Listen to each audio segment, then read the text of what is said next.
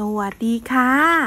หากคุณเป็นคนหนึ่งที่ชอบทานข้าวผัดร่วนๆเกรียมๆหอมกลิ่นกระทะหน่อยๆ ลองมาดูวิธีการทำข้าวผัดแบบนี้กันนะคะ จะบอกเลยว่าฟินมาก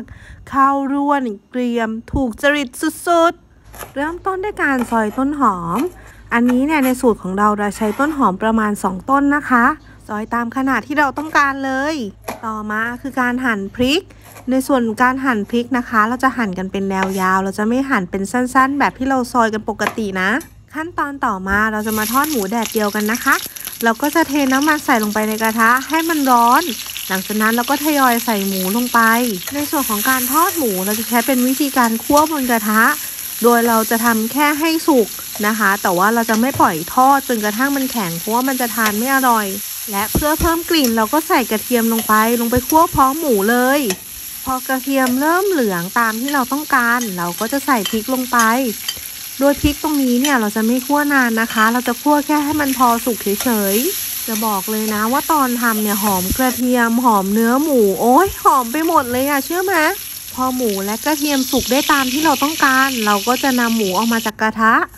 และจากน้ำมันที่ทอดหมูเราก็จะใส่ไข่ลงไป 3 ฟอง เพื่อเตรียมทำข้าวผัดของเราดูสิน้องปุดปุดปุดปุดปุดเลย หลังจากนั้นเราก็จะกวนไข่ให้พอสุก ในส่วนของการกวนไข่นะเราก็จะกวนจนกระทั่งไข่เนี่ยมันจับตัวกันเป็นก้อนๆแบบนี้เลยนะคะ พอไข่สุกได้ที่เราก็จะใส่ข้าวลงไปในกระทะ แล้วเราก็จะค่อยๆยีข้าวนะคะ เราใส่น้ำปลาโดยตรงไปที่กระทะเลยเพื่อให้ได้กลิ่นหอม ตามด้วยน้ำมันหอย แล้วก็ปิดท้ายด้วยน้ำตาล เห็นไหมว่าข้าวผัดของเราเนี่ยสะดวกสบายง่ายสุดๆ ใช้เพียงแค่น้ำปลา น้ำมันหอยแล้วก็น้ำตาล เราก็จะสามารถทำข้าวผัดอร่อยๆได้แล้ว แล้วก็มาถึงขั้นตอนสำคัญอันสุดท้ายนั่นก็คือการคั่วข้าวผัดของเราบนกระทะโดยขั้นตอนนี้เนี่ยเราจะเปิดไฟให้แรงเพื่อที่จะคั่วข้าวให้เกรียมแล้วก็หอม ปิดท้ายด้วยการใส่ต้นหอมที่เราซอยเอาไว้ลงไปบนข้าวผัด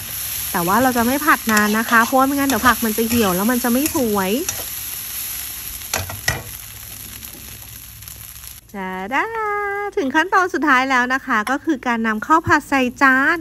ใส่ไปตามจำนวนที่เราต้องการเลยนะ แล้วก็แต่งหน้าด้วยหมูแดดเดียวคั่วพริก